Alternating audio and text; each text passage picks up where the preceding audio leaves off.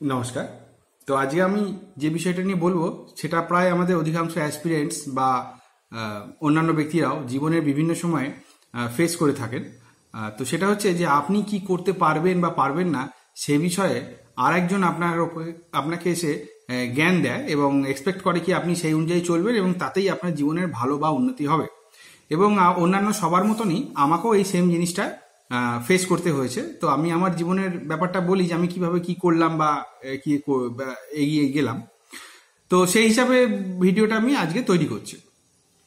তো যাই হোক, আমি অনেকদিন ধরে সিভিল সার্ভিসের জন্য চাকরির পরীক্ষার প্রস্তুতি নিচ্ছিলাম।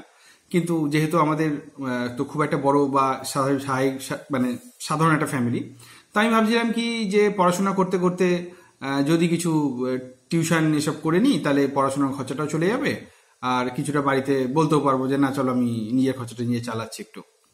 তো যাই হোক, আমি সেই হিসাবে এবার আমাদের, আমি একটা ছোটবেলায় মানে ক্লাস সেভেন এইটে পড়বার সময় আমি একটা স্যারের কাছে পড়তাম ইংলিশ পড়তাম, ব্যারাকপুরেরই তিনি শিক্ষক। তো আমি দেখলাম কি তিনি অনেক, বহু বছর ধরে, প্রায় পঁয়ত্রিশ, চল্লিশ বছর ধরে টিউশন করছেন। এবং তিনি কোনো স্কুল, কলেজে সার্ভিস করেন না, এই টিউশন করেই তার সংসার, ঘর চলে। তো আমি জানলাম কি তার কাছে প্রচুর স্টুডেন্ট আছে, তো তিনি আমাকে অবশ্যই একটা স্টুডেন্ট দেখে দিতে পারবেন। তো আমি স্যারের কাছে গিয়ে বললাম যে, স্যার, আপনি কি আমাকে একটা স্টুডেন্ট দেখে দেবেন? পড়াবো, কিছু ইয়ে করব। তো এবার স্যার আমাকে বললেন যে, দেখ, তুই প্রথমে একটা গ্রুপ ডি চাকরির চেষ্টা কর। গ্রুপ ডি চাকরি কর, জীবনটা খুব ভালোভাবে কাটবে সুন্দরভাবে চলবে, আর পড়াশোনাটা তুই করাতে যাস না। টিচার হওয়া অত সোজা ব্যাপার নয়। আর টিচার হতে গেলে যে জিনিসটা লাগে সেটা তোর মধ্যে নেই। তো তুই ওটা করতে যাস না, তুই নিজে পড়াশোনা কর। গ্রুপ ডির জন্য চেষ্টা কর। তো যেহেতু স্যারকে আমি ছোটবেলা থেকে পড়ি এবং তাকে এতটাই বিশ্বাস করি যে আমি এটা জানি যে আমাকে যে পড়িয়েছে, সে আমার বিষয় সম্পর্কে মানে সে আমি কতটা পারব, কি পারব বা পারব না, এই বিষয়টা সে ডেফিনেটলি জানে এবং তিনি আমাকে নিরীক্ষণ করে যে কথাটা বলেছেন, সেটা ভুল হতেই পারে না। কারণ তিনি আমাকে খারাপ চাইছেন না, তিনি আমার ভালোই চাইছেন এবং তিনি আমার যোগ্যতা বুঝতেই পেরেছেন যে কতটা আমি কি করতে পারি। শিক্ষক আমার দ্বারা হবে না বা টিউশন করা অতটা সোজা জিনিস নয়। তো আমি তার কথা মেনে নিলাম, টিউশন হবে না আমার দ্বারা। তো আমি ডাব্লিউ বিসিএস ট্রাই করলাম, হলো না। তখন আমার মনে দৃঢ় বিশ্বাস জন্মালো, স্যার ঠিকই বলেছেন, আমার দ্বারা ডাব্লিউ বিসিএস হবে না। গ্রুপ ডি তাও হলো না। তার কথাটাকে আমি এত দৃঢ়ভাবে, এত মজবুতভাবে মেনে নিয়েছিলাম যে তার কথার কোনো দ্বিমত হতেই পারে না। তো কিন্তু কি করব? অবস্থার পরিপ্রেক্ষিতে এবং পরিস্থিতিতে আমি শেষ পর্যন্ত টিউশন পড়াবো শেষ পর্যন্ত ঠিক করলাম। এবং সেই স্যারের থেকে আমি স্টুডেন্ট পাইনি, তো আমি লোকজন আশপাশে বলে রেখেছিলাম, তো কেউ একজন টিচার প্রথমে একটা স্টুডেন্ট হলো, তারপরে তিনটে স্টুডেন্ট তারপরে পাঁচটা স্টুডেন্ট এইভাবে হতে হতে যেতে লাগল তো তারপরে মোটামুটি আমি অনেক কয়েক বছর ধরে পড়াচ্ছি, তারপরে আমি একসময় মনে হলো আমি একটা ইউটিউবে চ্যানেল বানাই, একটা ভিডিও দিই। ইউটিউবে চ্যানেল বানানোর পর ভিডিও দেওয়ার পর আমি বুঝলাম যে আমি মোটামুটি পড়ানোটা একটু ভালোই জানি। মানে আমি নিজে জানতাম না যে আমি পারি ভালো। যেটা আমাদের ছাত্রছাত্রীরা ভিডিওর নিচে বিভিন্নভাবে কমেন্ট করে, বিভিন্নভাবে ইউটিউব বা ফেসবুকে পোস্টের মাধ্যমে কমেন্ট করে তারা জানান যে, আমার মনে হয়েছে যে একশোর মধ্যে আটানব্বই শতাংশ বা নিরানব্বই শতাংশ ছেলে মেয়ের মনে হয় যে আমি পড়ানোটা ভালোই পারি। আর এক শতাংশ ছেলে এখনও সঠিকভাবে আমাকে মনে করেন না যে আমার দ্বারা কিছু হতে পারে। তো এই যে ব্যাপারটা আমি আপনাকে বললাম এটা কেন বললাম? তার কারণ দেখুন, আপনি যাকে ভরসা করেন, আপনি তারই কথা মানবেন। এবং সেই ব্যক্তি যদি আপনাকে বলে দেয় যে আপনার দ্বারা অমুক কাজটা হবে না, আপনি সেটা দৃঢ় প্রতিজ্ঞভাবে মেনে নেন এবং সেই কাজটা সত্যি আপনার দ্বারা হয় না। কিন্তু আপনি যদি সেই পরিস্থিতি বা সেই অবস্থাটাকে মানে যেটা তা আপনার উপরে বলা হয়েছে আপনার দ্বারা সম্ভব নয়, কিন্তু যদি আপনি নিজে থেকে চেষ্টা করেন, সেই কাজটাও কিন্তু আপনার দ্বারা সম্ভব। আমার বক্তব্য এটাই। এবার সেটা আপনার বাড়ির লোক হতে পারে, সেটা আপনার পাড়ার লোক হতে পারে পাড়ার আর অনেকে আছে আপনাকে বলবে যে ডাব্লিউবিসিএস পড়তে গেলে ভালো ইংরেজিতে নলেজ চাই। সেটা হয়তো ইংলিশ পেপারের ক্ষেত্রে ওনারা বলে থাকছেন যে অপশনাল যদি ইংলিশে লিখিস তাহলে বেশি নম্বর পাওয়া যাবে। বা ইউপিএসসিতে তুই যদি বাংলায় লিখিস, তোকে টিচাররা মার্কস দেবে না। ইউপিএসসিতে হিন্দি আর ইংরেজিতে লিখতে পারলেই তুই মার্কস পাবে। এই রকম প্রশ্ন ডেলি বেসিসে আমি পাঁচটা থেকে ছটা মতন রিসিভ করি যে, স্যার ইউপিএসসি কি বাংলায় দেওয়া যায়? ইউপিএসসি কি বাংলায় দিলে কোনো অসুবিধা হবে? ইউপিএসসি কি অপশনাল যদি বাংলায় লিখি কোনো নম্বর কম পাবো? আপনি জেনে রাখুন, যদি আপনাকে কেউ বলে যে বাংলায় দিয়ে আপনি করতে পারবেন না, তাহলে আপনি বুঝুন সেই ব্যক্তি বা তার ফ্যামিলি তার বা- তার পাড়ার থেকেও জীবনে কোনোদিন ইউপিএসসি পড়াশোনা করেইনি, যে পড়াশোনা করবে সেই কথা কোনোদিন আপনাকে বলবে না। অর্থাৎ আপনি যখন এটা কিছু করতে যাচ্ছেন, তারা আপনাকে ইংরেজির ভয় দেখিয়ে, বাংলার ভয় দেখিয়ে, উর্দুর ভয় দেখিয়ে বলছে যে, এই জিনিস আপনার দ্বারা সম্ভব না। আমি আপনাকে বলছি, প্রত্যেকটা জিনিস আপনার দ্বারা সম্ভব। যেটা ভগবান তৈরি করেছে, যেটা ভগবান ভাবে সম্ভব। আপনি কাউকে প্রাণ দিতে পারবেন না। কেউ মারা গেলে তাকে জ্যান্ত করতে পারবেন না। এই কাজটা ছেড়ে দিয়ে বাকি যে কোনো কাজ আপনি করতে পারবেন। আপনি মনে রাখবেন, মানুষের এই ব্রেন যেটা আছে, এবং এই ব্রেনের মাধ্যমেই কিন্তু আজকে চাঁদে রকেট গিয়েছে বা মঙ্গল গ্রহে অভিযান যাচ্ছে।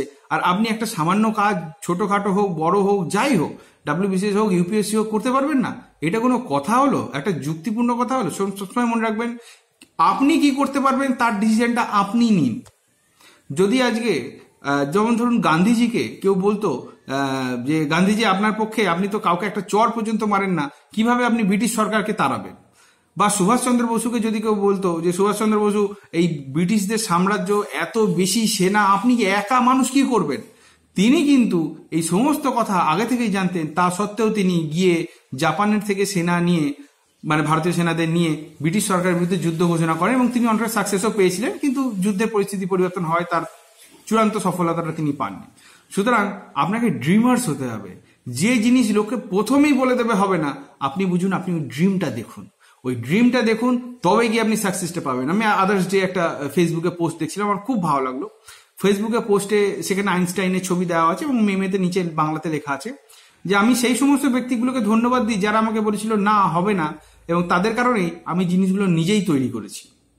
অর্থাৎ ব্যাপারটা বুঝুন, আপনাকে যারা যারা বলছে, না, আপনার দ্বারা হবে না, আপনি এটা পারবেন না, আপনি জানুন যে আপনিই ওটা পারবেন, আর কেউ পারবে, কি পারবে না, সেটা পরের কথা। এবার কি হয়, মাঝে মাঝে আমাদের মধ্যবিত্ত ছেলে মেয়ে যারা রয়েছে, তারা এক্সপেক্ট করছে, বাড়িতে হয়তো দুটো কথাও শোনাচ্ছে। অস্বীকার করার জায়গা নেই। এক্সপেকটেশন আপনার উপরে থাকবেই। আমরা যে ধরনের ঘরে জন্মেছি, আমাদের এক্সপেকটেশন রাখতেই হচ্ছে আমাদের ফ্যামিলির এবং আপনাকে কথাও শোনাবে। কিন্তু এর মাধ্যমে আপনাকে টিকে থাকতে হবে। ওই যে আমি আপনাকে বলেছি যে রকেট এত বেশি আগুন জ্বলে যে সেটা মহা মাধ্যাকর্ষণ শক্তি পেরিয়ে চলে যায়, কিন্তু একটা এরোপ্লেন হাওয়া লাগিয়ে ওড়ে, আবার নেমে যায়, পৃথিবীর বাইরে যেতে পারে না। সুতরাং আপনাকে যদি করতে হয়, আপনাকে নিজের উপরে বিশ্বাস রাখতে হবে। কে কি বলছে ওসব ম্যাটার নেই। আপনি হিন্দি জানেন, আপনি ইংরেজি জানেন, আপনি জানেন না, কিছু যায় আসে না। আজকাল ইউটিউবে ইংলিশের জন্য প্রচুর চ্যানেলস আছে। আপনি গ্রামার শিখুন, আপনি লেখা প্র্যাকটিস করুন, দেখুন, দেখান, কেউ না কেউ গ্রুপ স্টাডি করুন, দেখুন ঠিক হয়ে যাবে। আপনি যদি এক্সকিউজটার উপরে মানে মানে ফোকাস করেন যে এই কারণে আমার হবে না, তাহলে আপনার হবে না। আর আপনি যদি ওই সফল হওয়ার জন্য যে যে জিনিসগুলো করলে সফল হওয়া যেতে পারে, হতে পারে আপনি সব জানেন না। এই মুহূর্তে আপনি পড়াশোনা শুরু করেছেন, আপনি ভাবছেন বা আপনি জীবনের কোনো একটা জায়গায় পৌঁছাতে চেষ্টা করছেন হ্যাঁ আমি তো জানি না সবকিছু। হ্যাঁ কেউই জানে না সবকিছু। আজ পর্যন্ত সবকিছু জেনে পরীক্ষা দিতে বসেছে, এরম ছেলে মেয়ে হয়ই না। প্রত্যেকেই কিছু না কিছু জানে, কিছু না কিছু জানে না। চলতে থাকে। আরেকটা কথা, আপনি কিন্তু একটা জিনিস মনে রাখবেন যে, আপনি ধরা যাক যে আপনি বহরমপুর থেকে কলকাতা আসেন। প্রায় দেড়শো কিলোমিটার বা দুশো কিলোমিটার দুশো কিলোমিটার বেশি হয়তো হবে, দুশো কিলোমিটার মতন রাস্তা। যে ব্যক্তিটা একশো কিলোমিটার পেরিয়ে কৃষ্ণনগর বা রানাঘাট এরকম জায়গায় পৌঁছে গিয়েছে, আর আপনি বহরমপুর দুশো কিলোমিটার পিছন থেকে শুরু করছেন, আপনি কিন্তু কোনোদিন যত স্পিডে যান, ওই একশো কিলোমিটার এগিয়ে থাকা বা কলকাতার গলায় গলায় পৌঁছে গিয়েছে, এরকম ব্যক্তিকে অতিক্রম করতে পারবেন না। অর্থাৎ আমার বলার তাৎপর্য, আপনি নিজের গতিতে চলুন। আপনি আপনার গতিতে চলুন, আপনিও পৌঁছাবেন শিয়ালদহ, আর যারা আগে যে বেরিয়েছে, তার আগে পৌঁছাবে। ওই ছেলেটা না কি প্রস্তুতি রয়েছে, ওই মেয়েটার কি প্রস্তুতি রয়েছে, যা বলছে ব্যাচের মধ্যে, সব সঙ্গে সঙ্গে উত্তর দিয়ে দিচ্ছে। এরা তো দুর্দান্ত জানে, আমি তো কিছুই পারছি না। আমি কি করে হবে? দেখুন, যে শুরু করেছে বা যে পারছে, যে ব্যাচের মধ্যে খুব ভালো উত্তর দিতে পারে, সে ছ মাস, এক বছর, দু বছর আগে শুরু করেছে। আর আপনি আজকে শুরু করেছেন। একটা বেবি মানে প্রথম দিন জন্মেই সে মাঠে দৌড়াতে পারে না। কিন্তু একটা উসাইন বোল্ট সে কত বছরের প্র্যাকটিস অধ্যাবসায়ের পরে দৌড়াচ্ছে। সুতরাং আপনাকে বুঝতে হবে যে আপনি কিন্তু কোনো কিছুকে কম্পেয়ার করবেন না। আপনি নিজের মতন বাঁচুন। আর কে কি বলছে, ওসব দেখার দরকার নেই। তা আমার বক্তব্য এটাই ছিল। ভিডিওটা এতটুকুই ছিল। দেখার জন্য ধন্যবাদ। এবং আপনার যদি কোনো বক্তব্য কমেন্টস থাকে, আপনি নিচে অবশ্যই জানাতে পারেন। নমস্কার।